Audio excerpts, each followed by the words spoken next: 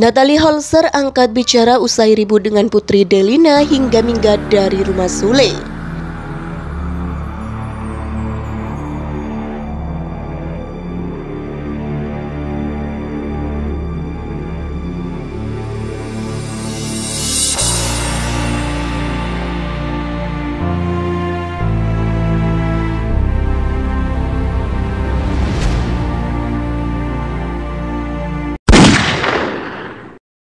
Dapur berita artis terkini.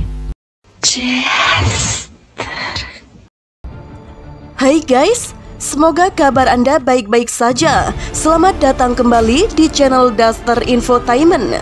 Terima kasih karena sudah memberikan support dan juga kesetiaan Anda untuk membangun channel ini. Natalie Holzer kini tengah diterpa isu tak sedap tentang hubungan dengan keluarganya. Mulai kabar bermasalah dengan anak sambungnya Putri Delina hingga pergi dari rumah Sule. Saat awak media berusaha mengonfirmasi hal yang sebenarnya terjadi, Natalie masih enggan membeberkan. Ia hanya meminta doa kepada semuanya tanpa menjelaskan apa pun.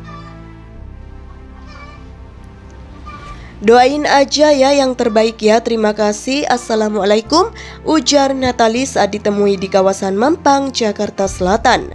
Natali yang mengenakan baju merah serta hijab putih bermotif berjalan terus menembus para wartawan menuju mobilnya. Sebelum pintu mobilnya tertutup, mantan DJ itu memberikan isyarat salam kepada awak media dengan mendekatkan dua telapak tangannya. Seperti diketahui hubungan Natalie Holzer dengan anak sambungnya, Putri Delina, dikabarkan sedang renggang. Hal ini bermula ketika anak kedua Sule itu curhat soal keluarga di kanal YouTube Maya Estianti. Setelah itu Natalie juga sempat buka suara tentang masalah keluarga lewat kanal YouTube Uya Kuya.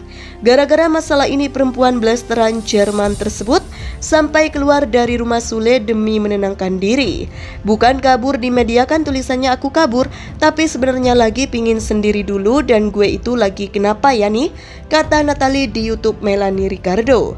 Menyelesaikan masalah dengan ego dan ego enggak kan bisa, malah makin panas sambungnya.